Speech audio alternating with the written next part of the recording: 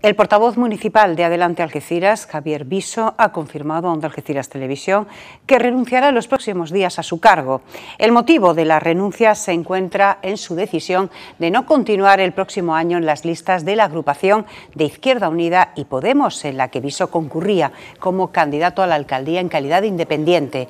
El edil va a mantener sus responsabilidades en los próximos días, en los que aún asistirá al próximo pleno del Ayuntamiento de Algeciras como portavoz de Adelante Algeciras, después de lo cual hará entrega de su acta de concejal. Viso ha anunciado su intención de ofrecer una rueda de prensa en la que informar con detalle de los motivos de esta renuncia.